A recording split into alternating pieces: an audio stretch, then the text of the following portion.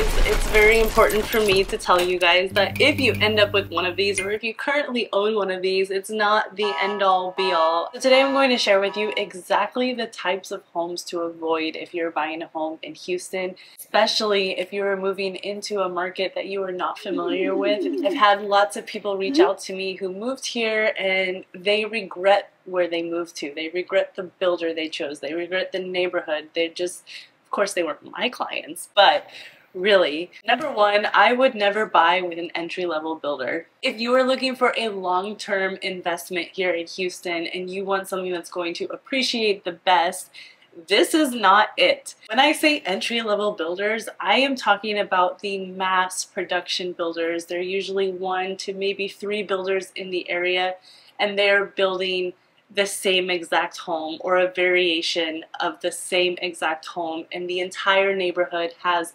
thousands of nearly the same exact home and there's really no other features of the neighborhood. It might have a pocket park or a pool but overall they're just massively produced homes. They're great because they're affordable, but they're not so great because they use extremely cheap material. You're going to have problems later on, especially after the warranty expires. Number two, you're basically buying into oversaturation because eventually you have to resell that home.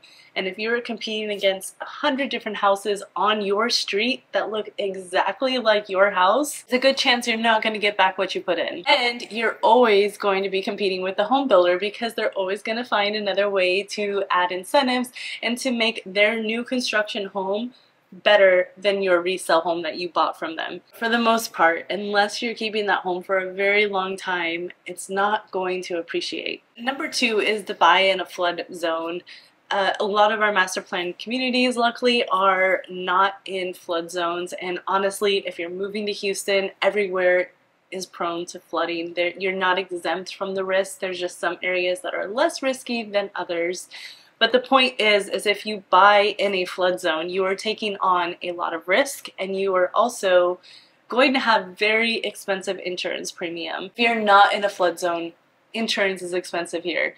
If you're in a flood zone, it's even more expensive. And again, reselling this not saying that it can't resell, but it's going to take a little bit longer because a lot of people don't want to take on that risk. Number three is buying in a lower rated school district. Whether you have kids or not, one of the biggest driving forces, especially out here in the suburbs, is school district rankings and school rankings.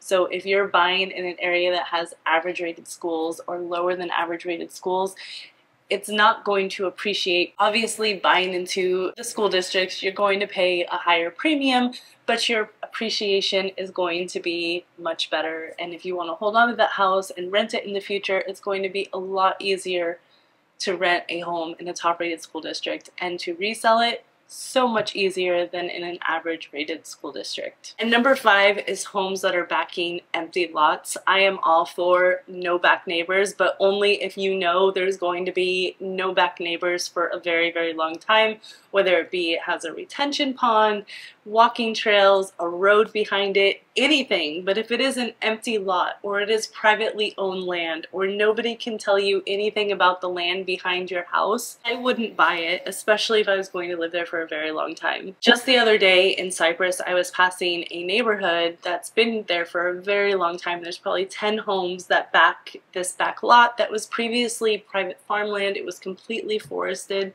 they in the last year just tore down all the forest, all that area that sold the land. You know what's going to come 20 feet to the back of their house? Big old industrial buildings. It's going to be like 200,000 square feet of warehouses and it's going to be directly behind their house. So instantly those homes have now lost a little bit of value and it's going to be harder for them to resell that home, especially when they probably paid a premium when they originally bought it because there were no back neighbors. So I would just be a little careful about that. If you are local to the area or you've recently bought a house, please comment down below what you would avoid if you were buying a house here in the Houston area. Again, if you would like what I think is the best things to have when looking for a home here in Houston, make sure you download the guide. As always, thank you so much for watching and I will see you next time.